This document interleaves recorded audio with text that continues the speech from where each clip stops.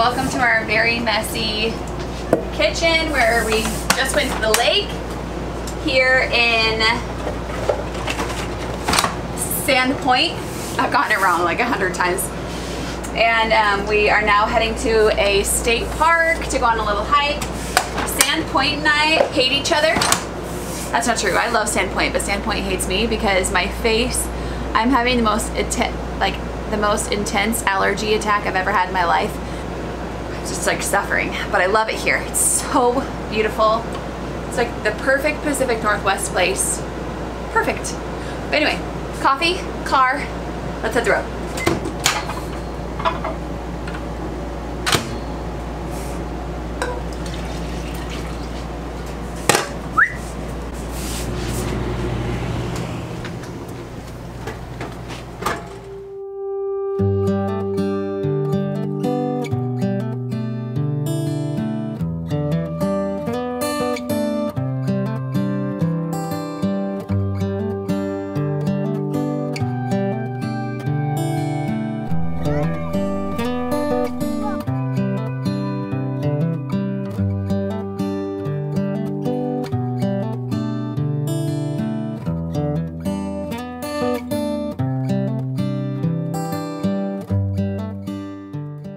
Went hiking, got poison oak or poison ivy, and it hurts. It's all over my upper thigh, all over my hand, and Miller just had an accident in his pants. So, now we're falling apart.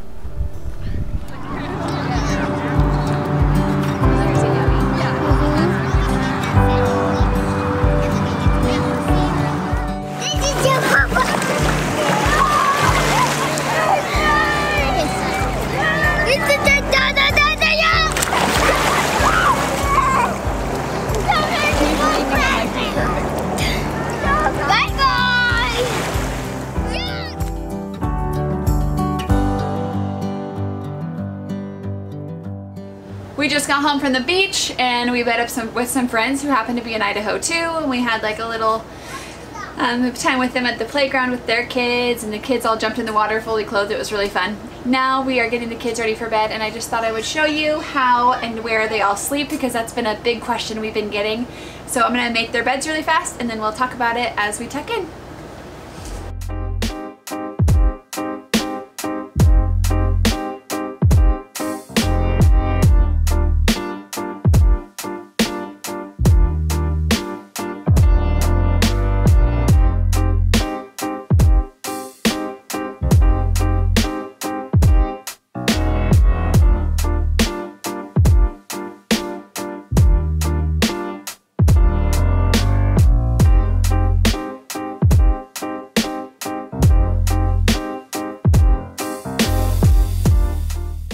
Put these two pillows under the sheet here on this queen size pullout so that there's a clear divider for the kids who share a bed because they don't like to touch each other.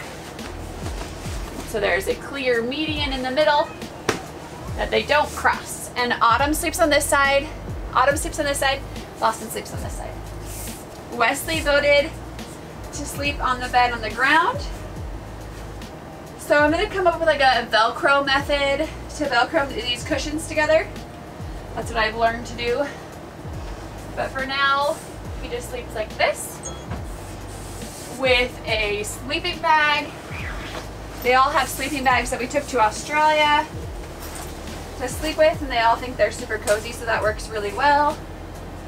That's their blanket. And we keep it really toasty in here so they don't need heavier blankets because we we camp in warm environments.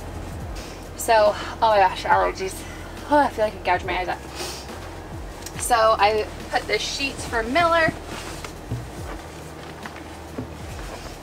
This crib sheet, since he's still potty training. I wanted something a bit more waterproof for him, just to be more comfortable. But it is nice and soft. And then he has his little blankie and his pillow and a sleeping bag. And then they each have their own little stuffed animals and it works out great. So that's how the kids sleep. Let's go see what they're doing outside. Starting line. And four times Can you do each another? time. Go! Go! Oh, it does! Wesley, freeze! Idaho has been so nice. Other than Becca's allergies being terrible here, everything else has been fantastic. It's been sunny and warm. We're sitting at the base of a fantastic ski resort and one of the biggest and deepest lakes in the Pacific Northwest. It is absolutely fantastic. Sand Point is actually a really cool town too. Like it's got a it's got a really cool vibe.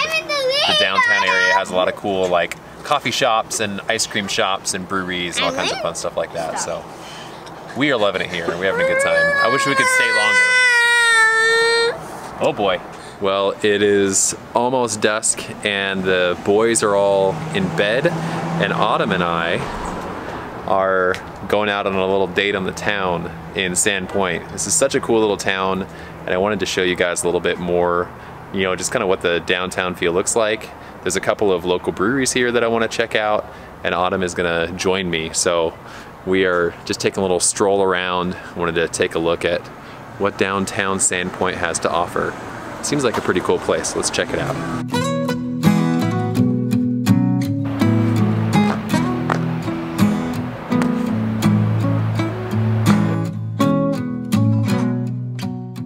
So this seems to be a pretty cool food town, but what's really cool is this downtown strip right behind me. You can kind of just see chain link, but right down that street over there is uh, the Sandpoint Beach Park where we were spending a whole bunch of time earlier today. So it's just walking distance from downtown, so you can go and hang out on the on the beach, in the sand, on the lake, all that kind of stuff, and then walk down here for some restaurants and breweries and all that kind of fun stuff.